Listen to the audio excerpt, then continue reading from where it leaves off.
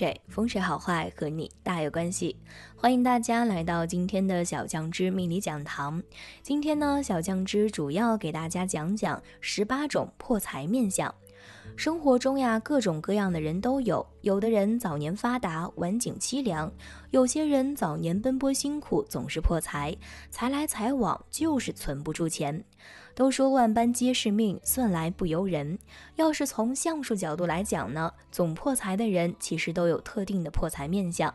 今天呀，小酱汁老师就给大家介绍十八种破财相，感兴趣的朋友可以看一下自己有没有中招。一牙齿稀疏发黄，牙齿是肾之苗，在面相中呢是财门，可以防止运势外散或是晦气进入。但若是一个牙长得稀疏发光，则这样的人财运会有非常大的损耗，常常存不住钱，有点钱呢也会外露，而且这样的人在身体健康方面也会受到比较大的损失，肾气不足，没有精气神儿，容易招惹疾病找上身。二双眼无神，在相学中，若是一个人双眼无神，看起来昏昏沉沉，没有精神，则这样的人个人的行动力较差，性格上也会非常的懦弱，没有本事，做什么事情都是无精打采，没有挣大钱的本事，一辈子都辛苦劳碌，日子过得非常艰辛，从而导致财气外露的比较明显，在事业上也是高不成低不就，成不了大气候。三面大鼻小，在相学中呢，若是一个人的脸大有横肉，而鼻子长得扁塌没有气势，则这样的人没有挣大钱的本事，财运不济，性格窝囊没本事，在职场上非常容易给别人欺负，完全没有一点气势，让人非常的瞧不起，只能是依靠苦力挣钱，贫贱一生，也没有大本事，别指望日后有挣大钱的本事。四泪堂深陷，在相学中呀，泪堂又被称之为子女宫，在面相学中代表的是一个人的子女运势和婚姻事业发展等等。若是泪堂深陷或者泪堂处有杂文恶痣等等，则这样的人天生就是劳碌命，日子过得比较艰辛，常常会把自己陷入到困境当中去，常常需要为子女的事情操心，一点儿也不省心，就没有清闲的时候。五额头尖尖，在相学中呢，若是一个人的额头长得尖尖，而且发际线看起来非常的低，则这样的人做事通常欠考虑，常常思考问题不周到，在钱财方面也没有调控能力，所以一般这样的人都比较容易破财，赚钱的能力比较差，财运不强，日子都会过得比较艰辛，生活的压力也会比较大，一旦急功近利，非常容易破财。六龅牙。所谓的龅牙，就是指嘴巴合不上，牙齿外露的非常明显。而门牙为财门，若是一个人的牙齿合不住，则这样的人个人的财运比较差，也没有赚钱的本事，常常容易错失赚大钱的机会。所以这样的人一旦财气外露，无论是自己赚钱多少都存不住，一辈子吃苦受累。七食指弯曲，一般长时间工作的人都会导致手指弯曲，多半干的都是苦力活，常常需要健手劳动。如果一个人的食指是贴着中指，则说明这个人的守财能力很好。相反呀，食指向外弯曲，则是破财的象征，说明这个人只能任劳任怨的工作，注定要过穷苦日子。八眼神外露，在相学中，若是一个人的眼神外露非常的明显，而且总是咕噜乱转，则这样的人多半坏心思比较多，而且贪心重，总是想要不劳而获，一旦失败就会陷入到一贫如洗的境地。所谓贪心必贫，而且眼神外露的人总是喜欢算计自己身边的人，也没有啥大本事。九额头低窄。额头是祖业，在面相中代表一个人的早年运势与发展等等。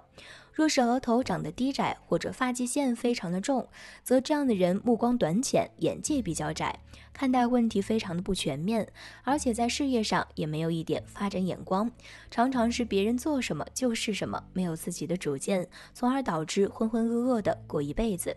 十，嘴巴太小。嘴巴太小主贫寒，嘴巴又小、嘴唇又薄的人注定贫寒，而且这种面相常常留不住钱财，不懂得理财。嘴唇薄的人薄情，说话刻薄，但是是非常典型的刀子嘴豆腐心，心不坏，只是需要稍微克制一下自己的情绪，尤其是在婚后生活当中呢，否则克夫影响夫运。十一耳朵太小。耳朵代表一个人的健康状况和寿命，耳朵生得好，小时候就很有福气。如果耳朵很小，而且没有耳垂，这样的人小时候经常生病，自身抵抗力低下，长大后呢也命苦。耳朵有耳垂，并且贴着脑袋不外露，这是比较好的。十二，山根低陷或者折断。有这种面相的人，常常心事很重，优柔寡断，常常有很多的想法，却很少动手去做，所以看似很努力，却一辈子碌碌无为。这种人如果遇到一个贵人，也可以有所成就，但是自己很难发现，就是有机会也很难把握得住。如果山根折断或者有横纹，婚后生活不好，甚至离婚。十三，眉毛散乱。眉毛散乱的人，在不聚财，在金钱方面是比较随意，不会理财，不会因为自己的勤恳和努力而得到金钱的收获，还常常失财、丢财、丢手机等一些贵重物品。十四，鼻翼外泄，鼻翼外泄乃金财外泄，这样的人花钱大手大脚，不会持家过日子做打算，将场不理性的消费。有钱就花，没有隔夜之粮。事业方面不适合以后独自谈生意或者投资。十五，比枕头生的较大，而且呈红色。有这种面相的人比较能够赚钱，而且性格相当的急躁，控制不住自己的情绪。在事业方面有一定的名声和地位，但也同样存不住钱，漏财相。可做一些投资，把钱存起来，以免为急用时没有钱而发愁。十六，牙齿有缝隙。门牙中间有较大的缝隙，俗称漏财牙。牙齿中间有缝的人，对金钱的支出比较多，更多的是没有理由的莫名支出，不会把钱花到该花的地方，无端的浪费金钱，还代表此人爱嚼舌根，难以守住秘密，经常会胡乱的说话，在现实生活中呢是个不太受欢迎的人，因此对生活工作都产生了不好的影响。十七，大拇指生得很翘，大拇指天生就是很翘的人，头脑简单，性情爽朗，做事干脆利索，是个难得的大好人。做事情比较冲动，还会有时因为自己的冲动去购买一些价值不菲的东西，而导致钱财流失，人生欠缺财运，辛苦劳碌一辈子的命。十八，指缝过宽，在相学中，手是长财聚财的地方。若是一个人的手指缝比较宽，则这样的人多半花钱总是大手大脚，也聚不住财，从而导致自己的钱财流失。缝隙越大的人，则这样的人破财的现象也会越大，属于典型的破财相，赚不了大钱，日子也会过得非常的艰难，花钱大手大脚，把钱财都给败坏光了。每个人都有自己的天生命局，如果你有以上这些破财面相，也不要怕，相由心生，保持好的心态，一切都能够迎刃而解。而且相不独论，凡事都要综合考虑，切不可只看一处就强行对号入座。好了，今天的分享到这里就结束了，希望大家能够喜欢，记得给小酱汁点点关注和小铃铛，小酱汁会继续给大家分享更多有趣的命理内容。我们下期再见。古人说：“大富靠命，小富靠勤。”意思是每个人的成功都不能离开自我奋斗。而在现实生活中，很多人一生都在奔波劳碌，可是却多劳少获，这就是我们常说的劳碌命。那么，什么样的人是天生的劳碌命呢？其实，我们可以从人的外貌体征看出一二。本期视频，小酱汁老师就带酱友们了解一下。劳碌无福的人都有哪些相学特征？一、额头狭窄，面相上额头位置比较特殊，代表天禄，说明了祖宗福音，也代表前世修为。因此，额头若宽阔，说明其人福德隆厚；而额头狭窄的人，则说明出生时家中的经济状况不是很好，所以他们从幼年时期开始就要为了学业和生存打拼。可想而知，生活是异常艰辛的，也代表成年以后身边没有贵人相助，因此他们只有靠自己的勤奋与努力，才能取得一定的成就。如果一个人额头狭窄，再加上天仓比较低陷，则意味着生活和事业中常会遇到各种各样的困难，自己存不住钱，并且也缺乏贵人扶持，需要耗费很大的精力才能得以解决。因此。恐怕终生劳碌无福。二，福堂杂文，面相上福堂是位居眉上，主福禄之事。福堂凹陷且有杂纹，就说明其人祖上没有俱佳的福运。同时，福堂有杂纹，往往是心境不宁的表现。面相具有如此特征的人，大多比较敏感，常常会因各种事情而担忧害怕，以至于使得自己身心疲惫，也就难以有大的作为和成就。故此，属于劳碌无福之相。三山根低陷，山根为一个人的祖业家底，体现命主祖源和祖业成就。山根要隆起有势，这样就体现出祖上家业丰厚。基础牢固。假如一个人山根低陷，则足音不足，人生起点不高，同时也说明事业基础不够稳固。所以，要想取得最终的成功，就需要自己抓住时机，并经历一定的困难与挫折。也正因为此，这一类人平时空闲享受生活的时候就格外的少。四颧骨低陷，面相上。颧骨代表一个人威望和权势，领导和支配人的能力和欲望，因此颧骨不能孤高，大体要与鼻子准头相配，但颧骨也不能低陷，过高则对人情义不足，趾高气扬，内心寡独；过低则不懂得与人交往之道，事事处处表现的唯唯诺诺，缺乏主见和威望，也就得不到大家的支持与帮助。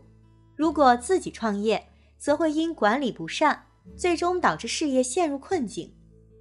五准头低垂，鼻相的准头既是财运的代表，也是一个人自我意识的代表。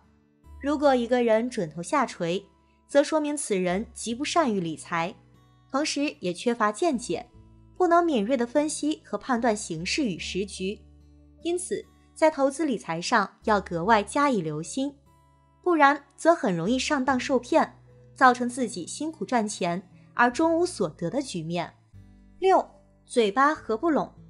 假如一个人的面相中代表家财的紧造薄弱，而且嘴唇合不拢，像掀开一样，则说明此人一生之中的财运运势会越来越不好，并且常常在关键时刻出现问题。因为鼻属金星，口属水星，属于钱财食禄。口大没有控制能力，又无强劲的来源，说明欲望大，办法不多，吃的多，赚的少，常常入不敷出，感到饥饿和经济紧张。因此，这一类人往往因为欲望而辛劳，但是管不住嘴巴而花费很大，属于福不食乃空之相。七，声音带煞。正常情况下，人只会在生病或者精神不佳的时候。才会说话有声无气的样子。如果一个人没有病痛，说话也有声无气，缺乏抑扬顿挫，则说明其人先天中气不足，缺乏活力与韵律感，且个性阴阳怪气，自然一生难有大的成就。同时，如果声音沙哑，则带有一种类似金属脆裂般的声音，在面相学上称为声音带煞。具有以上两种特征的人。在相学中是无福之人，因为这类型的人或者心术不正，或者有些自私，自然也难得到幸运神的眷顾了。其实最为重要的是，这类人大多难以与人沟通和交流，让人感到怪怪的，给人一种让人远离的距离感。同时说他们无福，往往还指可能寿元不长，即使发福发家也无法享受。八走路不稳。一个人走路的姿态，也能看到这个人的为人处事风格。比如走路太慢，那就表示这人安于现状，做事容易拖泥带水。如果走路慢又大摇大摆的人，则缺乏大志，容易贫困一生。走路快速的人，就表示个性比较急躁，相对比较劳碌。至于走路不稳健，也就是脚下无根，说明其人性格急躁。劳碌奔波，但做事不踏实，比较务虚，因此这种类型的人同样难有大的成就，故此也属于操劳无福的人。九，鼻歪嘴斜。古人说，鼻子歪的人心歪，鼻子正的人心正。鼻子歪的人多疑，尤其是对待配偶，脑子里整天想些歪七八糟的事情，多数婚姻不美，中年克配偶。女人嘴歪克夫，无论男女，嘴歪的人个性固执，强词夺理，说的多，做的少，一生事业难成。十，耳朵薄小，耳朵为面相上的受禄宫，同时也是肾气的外显，故此耳朵大又厚重的人，即使一生没有太多的金钱，也是知足常乐的人；而耳朵薄小且低下的人。一生福薄命浅，做事没有耐力，思考力弱，即使有富贵，也是昙花一现而已。十一，耳反阔路，面相学认为，耳朵以大为佳，耳小则不及。耳朵大代表元气足，精力充沛；耳朵小则代表早年体质弱，喜欢安静。同时，耳朵也为采听宫，因此耳廓要顺为吉。主能听取别人的意见和教导，而反阔路，则意味着叛逆、不听话。少年运气不佳，守不住财，也没有福气守住钱财。女性则婚姻不好，男性则终身福运差，事业难成，辛苦操劳。十二，眼神骄横，眼神骄横的人大多行为不善，骄傲自大，飞扬跋扈，即使有大富大贵。因其内心共高我慢，也早晚会有意外灾祸发生，富贵也不会长久。这种人往往言语轻薄，心术不正，气量狭小，故此为人苛刻、挑剔、无度量，见不得别人比他好，因此常招是非、官非、横祸。正如相学大家所言，心相不正，纵然富贵也难长久。还是因为福薄又不修福，自然终无所获，白辛苦一场。十三，命宫深锁，这是一生中最重要的位置，我们称为两个眉毛之间叫命宫，或者叫印堂。那什么叫深锁呢？就是那两个眉毛之间有很多的杂毛，或者很多的杂纹也算，或者受伤刀疤，这些都是不可以的。就这个地方，刚好我们叫命。就是代表你一生中的钱财、事业、婚姻顺利的位置，这地方要开朗一点。所以，如果有杂毛的，请你马上要把它拨开。